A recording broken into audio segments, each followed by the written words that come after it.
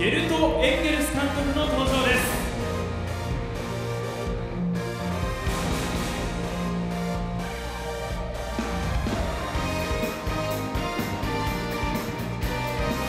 背番号20長江伊吹本日学校行事参加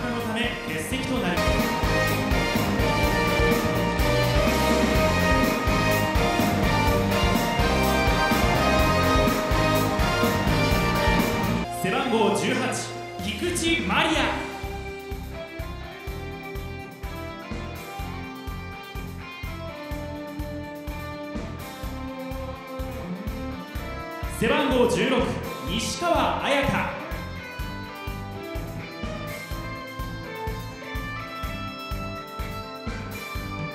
背番号15坂口萌乃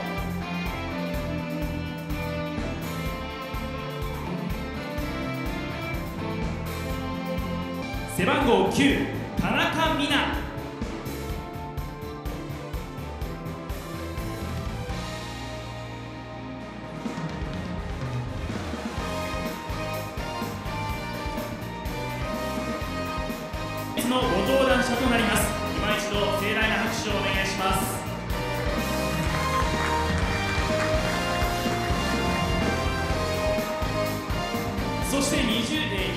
惑通りの補強はできたのかなというふうに感じています。あとは選手たちがしっかりとコミュニケーションをとって良いシーズンにしてくれるんじゃないかなというふうに期待しています。選手の皆さんよろしくお願いします。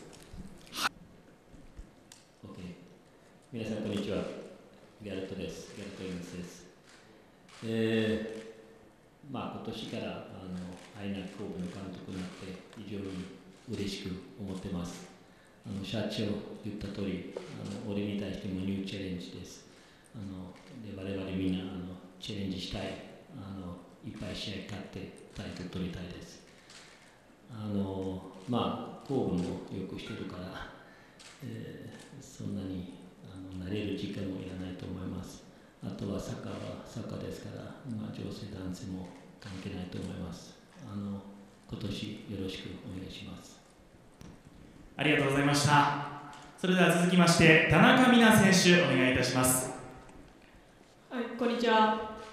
えー、日テレベレーザーから来ました田中美奈です。えーっとまずはチームの、えー優勝、えー勝つことに貢献できるように、えー頑張っていきたいと思います。よろしくお願いします。続きまして坂口萌乃選手お願いします皆さんこんにちは、えー今シーズンアルビレックス新潟レディースから、えー来ました、えーあ加入しました坂口萌乃です、えーいち早くこのチームに、えー馴染んで、えー優勝するために、えー全力を尽くして頑張りたいと思います。よろしくお願いします。ありがとうございました。続きまして西川彩香選手お願いします。と皆さんこんにちは。とジェフユナイテッド市原千葉レディースから移籍してきました西川彩香です。とこの素晴らしい環境の中でプレーできることにすごく嬉しく感じています。とこれからしっかりチームの勝利に貢献できるようにまた自分もアピールできるように頑張っていきたいと思いますのでよろしくお願いします。続いて菊池マリア選手お願いします皆さんこんにちは神村学園から新加入の菊池マリアですまだまだ足りないことが多いですがこのチームの勝利のために頑張りますので応援よろしくお願いしますこんにちは。はじめまして。今年からアイナコベに出したファンエンです。登場よろしくお願いします。ありがとうございます選手の皆様ありがとうございましたなお本日欠席しておりますえーまずはあの積極的なサッカーやりたいと思ってます。あのもちろんあの僕はまだ、まあ、選手、まあ、これからあの、まあ、よく知ってるようになるから、ね、選手様子を見てその選手の武器思い切り生かしたいと思ってます。でも、まあ、当然積極さはすごく大事。僕は基本的もポゼッションサッカー好きですしね。でまあ細かいことをあの別にして積極的あのサッカーやりたいと思います。え私はロングフィードだったりロングシュートだったりの大胆さを持ったプレーに注目してほしいです。と西川彩香ですと私は主にボランチかセンターバックを、まあ、得意としている選手なので、まあ、ロングフィードであったり空中戦だったりそういったところを見ていただきたいですはい、田中美奈です。えー、とまずは、えー得点のところだと思うので、えーそこは、えー自分自身も狙っていきたいところですし、あとはまあ去年まで、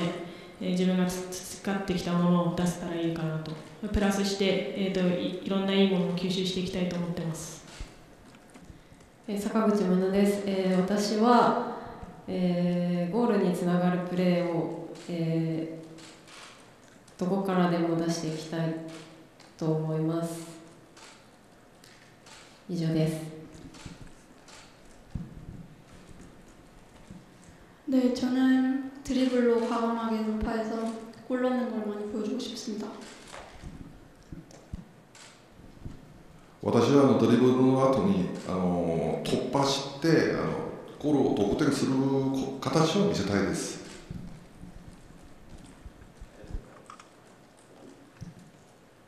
他に質問がある方はいらっしゃいますか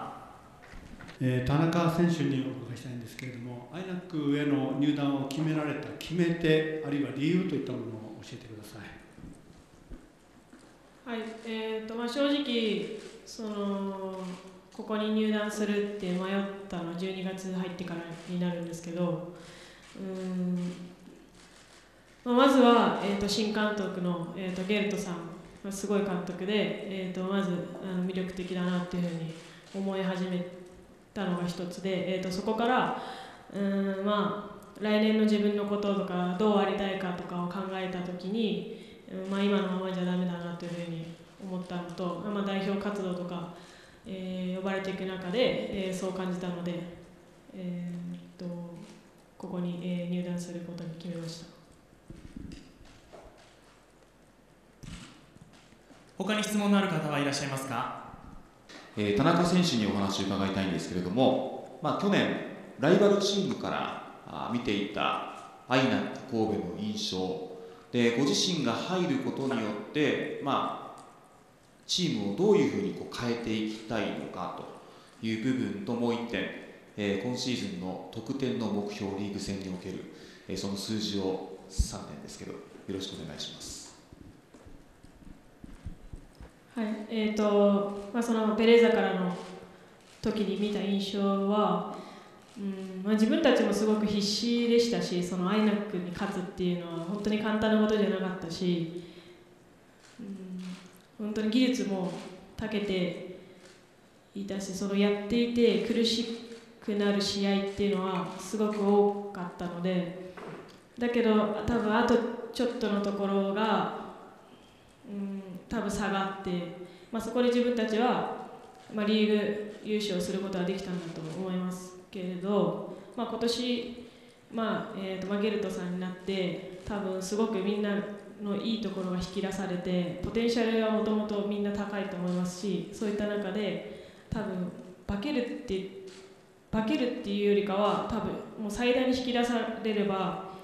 すごい強いチームになると思います。でその中で自分はもちろん、えー得点のところだと思うので、えーそこは、えー逃さないようにしっかりやっていくのとうん、まあ、そのみんなの最大限いいところが引き出された中でやっぱり自分も生かされることと,、えー、とみんなのことを生かすことを両方やっていきたいと思いますし、えーまあ、得点数に関しては、まあ、毎年具体的な数字ってあまり上げないんですけど、まあ、去年20得点取ったんで、まあ、それ以上取れるように頑張りたいです。の未来予想図も聞かせてもらえればなと思います。はい、えーとまあ、周りからも言われるんですけど意外と似合ってるって結構言われるので、まあ、自分もその気になっています、はいでまあ、このユニフォームでやっぱり多くの得点を稼ぎたいですし、えーとまあ、チーム優勝に本当に貢献したいと思っているので、はいえー、と得点シーンの写真をいっぱい撮ってもらえるように頑張りたいです。こちらのカメラお願いします。皆さん笑顔でお願いします。じゃあ次、次こっちお願いします。はい、行きます。はい、じゃあ次こちら、カメラさんお願いします。いいですかじゃあ。